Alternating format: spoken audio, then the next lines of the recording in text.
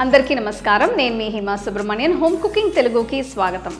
డెజర్ట్స్లో custard అనేది చాలా popular అయిన ఒక డెజర్ట్ అయితే ఇవాళ మనం రెండు different types of custard recipes చూడబోతున్నాం. ఒకటేమో custard cake with butter cream frosting and ఇంకోటేమో ఫలూడా కస్టర్డ్ పుడింగ్. సో రెండు చాలా డిఫరెంట్గా ఉన్నాయి కదా. సో రండి ఈ రెండు అద్భుతమైన రెసిపీస్ ఎలా చేయాలో చూద్దాం. కేక్ చేయడానికి నేను పొడి పదార్థాలని తడి పదార్థాలని సెపరేట్గా చేసి కలుపుపోతున్నాను. ముందుగా ఒక బౌల్లో ఒక కప్ మైదా పిండి పావు కప్ వెనీలా ఫ్లేవర్ కస్టర్డ్ పొడి పావు టీ స్పూన్ ఉప్పు రెండు టీ స్పూన్ల బేకింగ్ పొడి పంచదార ఒక కప్ వేసి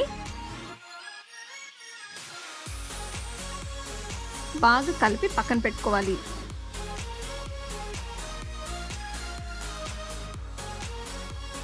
ఇంకొక బౌల్లో రెండు గుడ్లని పగలగొట్టి వేస్తున్నాను. ఇందులో నేను అరకప్ పాలు పోస్తున్నాను.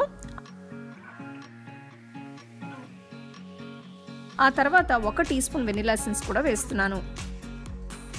ఇప్పుడు నూట యాభై గ్రాములు అన్సాల్టెడ్ సాఫ్ట్ బటర్ని ఇందులో వేసుకోవాలి.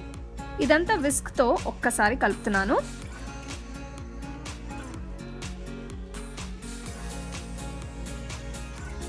ఇప్పుడు పొడి పదార్థాలు ఈ తడి పదార్థాలు అన్నిటినీ వేసి ఒక హ్యాండ్ బీటర్తో లేదంటే ఎలక్ట్రిక్ బీటర్తో స్మూత్గా క్రీమీ కన్సిస్టెన్సీ వచ్చేంత వరకు కలుపుకోవాలి. అంతే కేక్ మిశ్రమం తయారైనట్టే దీన్ని పక్కన పెట్టుకోవాలి. ఇప్పుడు ఒక కేక్ టెన్కి పైన నేను వెన్న రాస్తున్నాను. ఇది nineteen centimetres into seven centimetres ఉంటుంది. దీని మీద ఒక బటర్ పేపర్ వేసి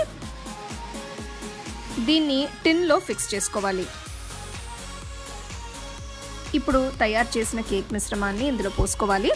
నేను ఈ కేక్ని ఎలక్ట్రిక్ కుక్కర్లో చేయబోతున్నాను. మీరు కావాలంటే ప్రెషర్ కుక్కర్లో లేదంటే ఇడ్లీ స్టీమర్లో కూడా దీన్ని చేసుకోవచ్చు. కుక్కర్లో ఒక కప్ నీళ్ళు పోసి లోపల ఒక స్టాండ్ పెట్టి దాని మీద కేక్ టిన్ని పెట్టుకోవాలి. కుక్కర్కి మూత పెట్టి కేక్ని ఆవిరి మీద ఉడికించాలి. ఇది అవడానికి సుమారుగా ముప్పై నుంచి నలభై నిమిషాలు పడుతుంది. నలభై నిమిషాల తర్వాత మూత తీసేసి కేక్ని బయట పెట్టి చల్లారనివ్వాలి. ఇది రూమ్ టెంపరేచర్లోకి వచ్చే లోపల నేను బటర్ క్రీమ్ కస్టర్డ్ ఫ్రాస్టింగ్ ఎలా చేయాలో చూపిస్తాను. దీనికోసం ముందుగా ఒక బౌల్లో నూట యాభై గ్రాములు వెన్న తీసుకోవాలి. వెన్న రూమ్ టెంపరేచర్లో ఉంటే బాగా సాఫ్ట్గా ఉంటుంది. ఇది క్రీమీగా అవడానికి ఒక నిమిషం పాటు బీట్ చేసుకోవాలి. ఇందులో నేను మూడు వందల గ్రాములు ఐసింగ్ షుగర్ వేస్తున్నాను.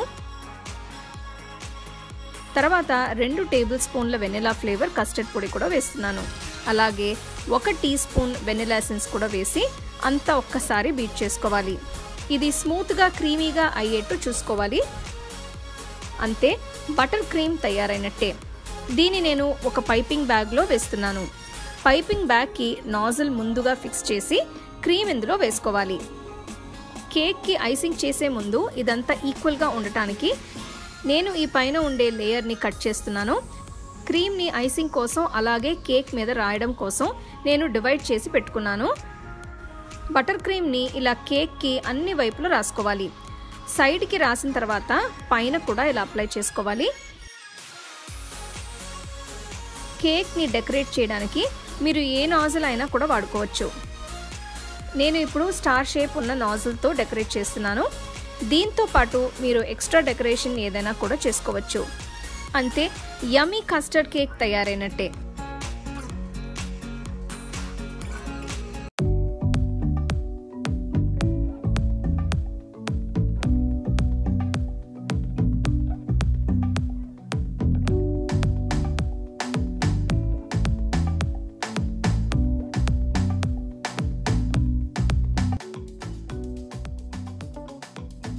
ఫలూడా కస్టర్డ్ చేయడానికి ముందుగా ఒక బౌల్లో ఒక టేబుల్ స్పూన్ సబ్జా గింజల్ని వేసి అందులో అరకప్ నీళ్ళు పోసి ఉంచాలి.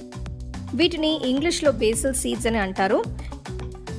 ఇప్పుడు ఫలూడాకి సేమియా చేయడం కోసం ఒక సాస్లో రెండు కప్పులు నీళ్ళు పోస్తున్నాను. నీళ్ళు బాగా మరిగిన తర్వాత అరకప్ సేమియాని వేస్తున్నాను. వీటిని పూర్తిగా ఉడికించాలి.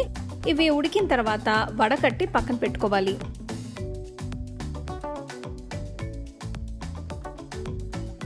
ఇప్పుడు కస్టర్డ్ చేయడం కోసం ఒక సాస్ ప్యాన్లో అర లీటర్ పాలని పోస్తున్నాను. ఇవి ఐదు వందల ఎంఎల్ కాచి చల్లారించిన పాలు. పాలు కొద్దిగా వేడెక్కిన తర్వాత మీ టేస్ట్కి తగ్గట్టు ఎంత స్వీట్నెస్ కావాలో అంత రోజ్ సిరప్ వేసుకోవాలి. మీరు చూస్తే రోజ్ సిరప్ వేసిన వెంటనే పాలు లైట్ పింక్ రంగు మారిపోతాయి. ఇది బాగా కలపాలి. రోజ్ సిరప్లో కావాల్సినంత పంచదార ఉంటుంది కాబట్టి నేను ఎక్స్ట్రా షుగర్ వేయట్లేదు. ఇందులో ముందుగా ఉడికించి పెట్టుకున్న సేమియాని వేసుకోవాలి.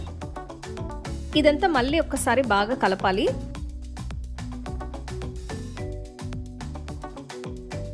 కస్టర్డ్ చేయడానికి ఒక బౌల్లో రెండు టేబుల్ స్పూన్ల స్ట్రాబెరీ కస్టర్డ్ పొడిని తీసుకుంటున్నాను. ఇందులో పావు కప్ పాలు పోసి కలపాలి. ఇది సేమ్ కలర్లో ఉండటానికి నేను స్ట్రాబెరీ కస్టర్డ్ పొడిని యూస్ చేస్తున్నాను. ఒకవేళ మీకు ఇది దొరకకపోతే వెనిలా కస్టర్డ్ పొడిని కూడా వాడుకోవచ్చు. ఇలా కస్టర్డ్ పొడిని పాలని వేసి కలిపిన తర్వాత సాస్ పాన్లో వేసి కలుపుకోవాలి. ఇందులో కస్టర్డ్ పొడి ఉండలు కాకుండా ఉండటానికి ఒక గరిటతో తిప్పుతూ ఉండాలి. కస్టర్డ్ పొడి మరిగిన కొద్దీ చిక్కపడుతుంది. కాబట్టి మీకు కావాల్సిన కన్సిస్టెన్సీ వచ్చేంత వరకు కలుపుతూ మరిగించాలి. ఇది చిక్కగా అయింది కాబట్టి పొయ్యిని కట్టేసి పక్కన పెట్టుకోవాలి. ఇప్పుడు పుడింగ్ని అసెంబుల్ చేయడానికి రెండు గ్లాసెస్ తీసుకుంటున్నాను. వీటిలో ముందుగా రోజ్ సిరప్ని వేస్తున్నాను. ఇందులో నానబెట్టిన సబ్జా గింజలు వేస్తున్నాను. దీనిపైన ఫలూడా కస్టర్డ్ని వేసుకోవాలి. ఇలా చేసిన తర్వాత ఫ్రిడ్జ్లో ఉంచి గట్టిగా అవ్వనివ్వాలి. నేను వీటిని నాలుగు గంటలు ఫ్రిడ్జ్లో ఉంచాను. చూస్తున్నారు కదా ఇలా సెట్ అవుతాయి. దీని మీద తరిగిన నట్స్ వేసి గార్నిష్ చేస్తున్నాను. అలాగే ఒక చెర్రీ కూడా పెడుతున్నాను. మీరు మీకు కావాల్సిన నట్స్తో టాపింగ్స్ చేసుకోవచ్చు. అంతే ఫలూడా కస్టర్డ్ పుడ్డింగ్ తయారైనట్టే దీన్ని వెంటనే సర్వ్ చేసుకోవచ్చు.